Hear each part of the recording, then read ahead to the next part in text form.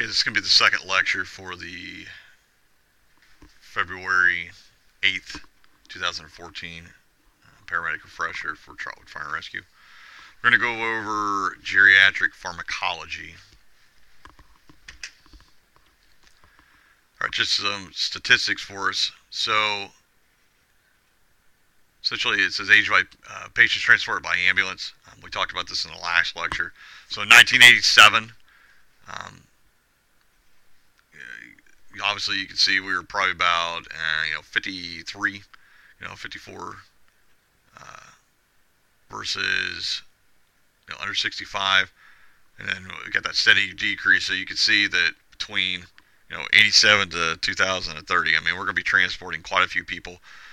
Uh, you know, from an age factor, and the under 65 is actually seems to be trending down versus over 65 that's you know, tremendously going up. So the chronological age is only one factor regarding the changes that affect the aging population.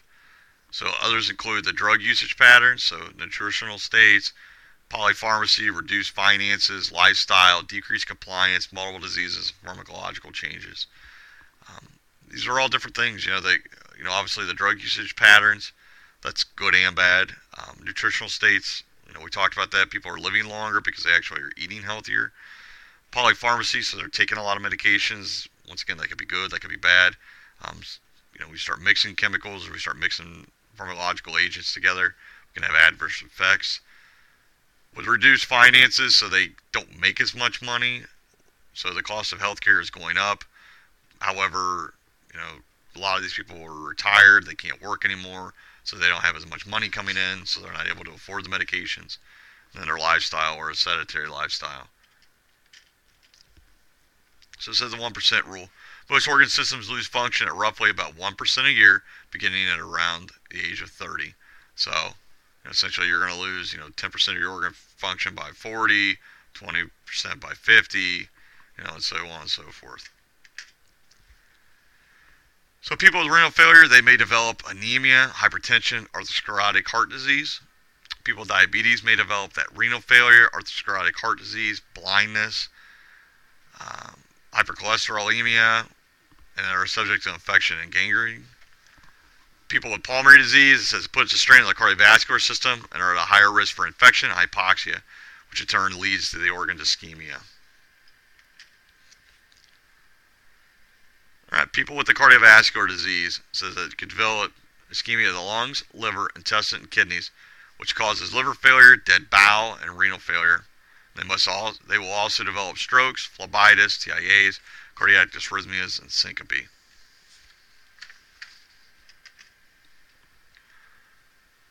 All right, so absorption. Um, it says pharmacokinetic changes, so they're not able to absorb as much. Um, once again, their liver doesn't detoxify.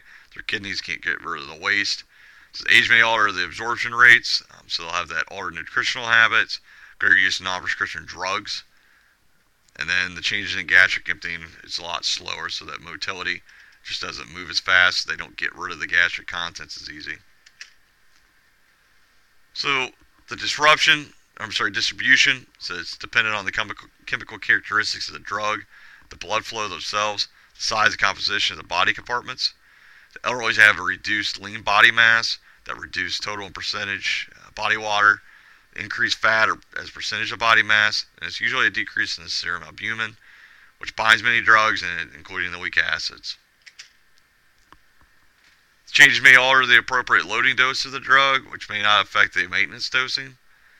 All right, so reducing the loading dose of a digoxin in a CHF patient due to decreased circulating volume. With metabolism, so certain drugs are metabolized a lot slower Others are due uh, they're due to decreased hepatic circulation. In other words, their liver's just not detoxifying as well because their hepatic circulation is decreased. They're not able to metabolize these medications as well. So because they're not able to metabolize them as well, when they do metabolize them, they don't get rid of them as quick. And then also because they're not their liver is not able to absorb them as well, then they're not getting the full effect of the medication. So the decline in the ability of the liver to, uh, to recover from the injury or disease, and that malnutrition and liver disease impairs hepatic function. All right, so getting rid of the waste. So decreased renal function is evidenced by the age-related decline in the creatine clearance, prolongation of the half-life of many drugs. The elderly is losing recommendations include allowance for reduced renal clearance. Nutritional changes, dehydration This may have a marked reduction in renal clearance. Lungs excrete certain drugs, so use inhalation drugs with caution. They're a lot more sensitive to sedative or hypnotics and analgesics, so that's why you know you give them a little bit of morphine or fentanyl, and that goes a long way. They have a decreased responses to beta-adrenergic stimulants and then beta blockers. So beta blockers don't work as well because their body basically doesn't absorb them as well. And that decreased homeostatic control. Once again, this is because they're not able to maintain their body temperature. Then a lot of times they will become hypothermic, they become acidotic, alkalotic, and they get very ill because their body is, you know, not able to keep that constant control. So phenothiazines and haloperidol, it's commonly used and are misused. Uh, the useful is schizophrenia, delirium, dementia, agitation, combativeness, certain paranoid syndromes. They have no effect on Alzheimer's dementia. A lot of times they'll take lithium, so it's used to treat mania. And its concurrent use with the thiazide diuretics um, reduces the lithium clearance. Okay, so different confusal states uh, in the elderly. So for delirium, it's abrupt. They usually have a reduct uh, reduced attention, and a very disorganized thinking. Versus dementia, it's very gradual. This is the one we talked about. It can it goes over from months to years. They have that impaired recent memory, and typically they'll have a regression. They kind of revert back to you know earlier times. So at least the two of the following, they have a reduced loss of consciousness, the perceptual disturbance, and altered psychomotor um, activity. Versus dementia, they have the disjointed thinking, poor judgment, or loss of mental function. All right, keep in mind with antidepressants, um, the suicide rate is twice the national average. Depression is underdiagnosed and is undertreated in the elderly. So a lot of times they just people take it for granted that you know, ah, it is what it is. You know, they're just getting older. You know, they don't get out. It's very, very underdiagnosed, and they actually need a lot of them need to be on antidepressants. So it's often mistaken for senile dementia. And antidepressants are very effective, but the elderly are more prone to the toxic effects. So that's why it's better to put them on a low dose because they are effective instead of a higher dose. So some of the drugs they use for Alzheimer's disease characterized by a progressive memory impairment and cognitive functions, and it can lead to a vegetative state. And it's believed to be worse by believed to be caused by a decreased brain levels of um, glutamate, dopamine, norepinephrine, and serotonin. All right, so all the happy stuff, all the stuff that makes you happy. So they're often sensitive to central nervous system drug toxicities, um, and then treatments would be uh, cholinergic drugs, so decreased uh, cholinergic neurons, uh, MOAI, or so the inhibitors, the cerebral vasodilators, and the nerve growth factors. And some of the examples would be like Tacrine and, and the donepezil. Donepezil. So antihypertensive drugs, thiazides, calcium channel blockers, beta blockers, and ACE inhibitors. These are all things that we need to keep in mind that um, it's very easy to overdose on. That's why we've got you know, the calcium channel blocker and the beta blocker overdose protocol. And then in turn, ACE inhibitors, you know, that's where we start worrying about angioedema, that swelling of the tongue. Um, they have a positive inotropic agent, so they have the cardiac glycosides or the digoxin. Toxic effects are very dangerous. Clearance is decreased, and the circulating volume is frequently diminished. Antiarrhythmic drugs, um, so it's challenging due to the lack of the good hemodynamic reserve. They have frequent electrolyte imbalances, and they have a high incidence of severe coronary artery disease and the half-time of lidocaine is increased because of this. So remember with uh, antimicrobial drugs, high incidence of infections, they have a reduction in the host defenses.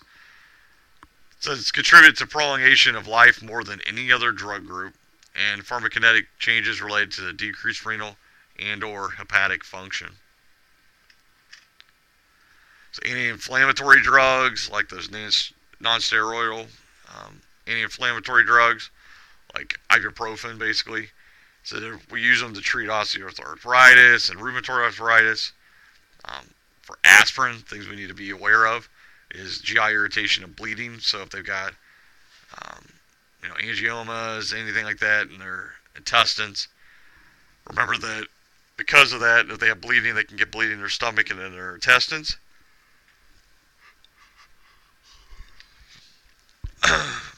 so if they're on uh, non-steroidal anti-inflammatory drugs and newer, they can have irreversible renal damage. Says it will accumulate more rapidly and causing faster damage because their body can't get rid of it, and they just keep taking it. Then it builds up in their system, and essentially it it can kill them fairly quick. And then patients should be monitored for renal function and of course steroids, so it's the cause of uh, dose duration and osteoporosis.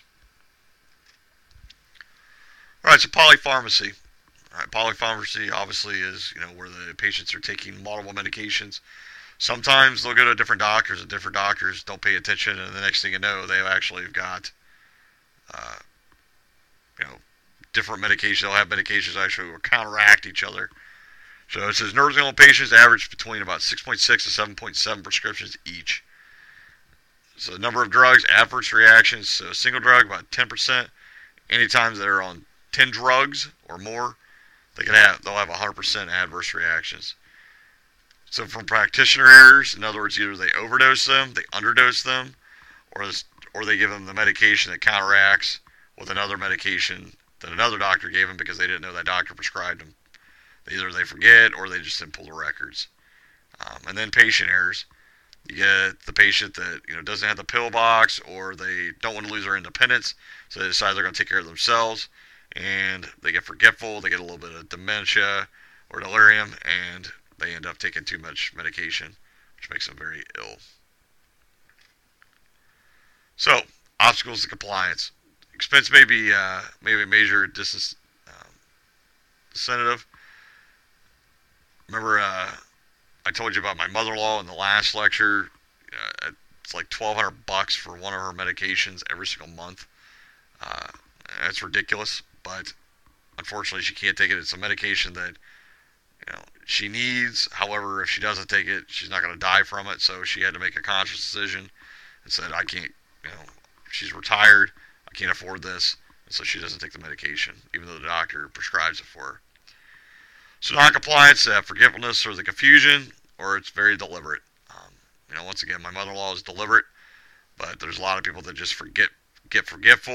You know, they get busy in their daily activities, and they forget to take their medication, and not taking their medication can make them very, very, very ill.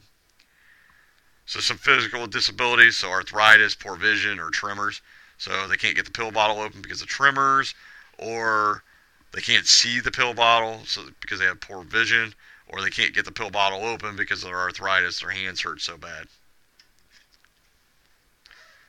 All right, so I adhere to these principles. Make sure that you take a careful drug history. Get the name of the medication, any generic or trade names on it. Make sure you get the frequency and the dose of the medication. And if you don't understand what the drug is, or if they're telling you what it is and you don't see a pill bottle, you know, make sure you write down the best you can and relay that information to the hospital. This is to find the goal of the drug therapy, the smallest amount that achieves the desired effect. Um, so if it says 10 mil, up to 10 milligrams, that doesn't mean you need to give them 10 milligrams right out the bat. Give them a little bit of mil, a little bit of drug, a little bit of drug, a little bit of drug until you get the desired effect that you want for like pain medication. Maintain a high level of suspicion regarding drug reactions and interactions. Says know what other drugs the patient is taking.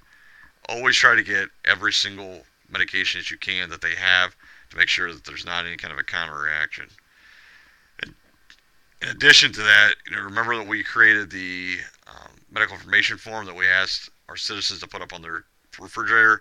I've only seen one so far that's actually been up. Um, but if you get a patient that is demented or they're unconscious or they're not able to give you the right information, check the refrigerator door to make sure they haven't filled out that medical information form that we've created. This is not by age, but by capacity is wisdom acquired. Okay? So if there's we're, that's the last slide for this lecture. It was fairly quick. Um, we're able to get through it. There'll be quite a bit of review on the quiz over what we just went over. Thank you.